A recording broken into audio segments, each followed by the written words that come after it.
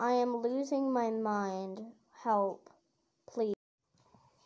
They ask you how you are, you just have to say that you're fine when you're not really fine, but you just can't get into it because they would never understand.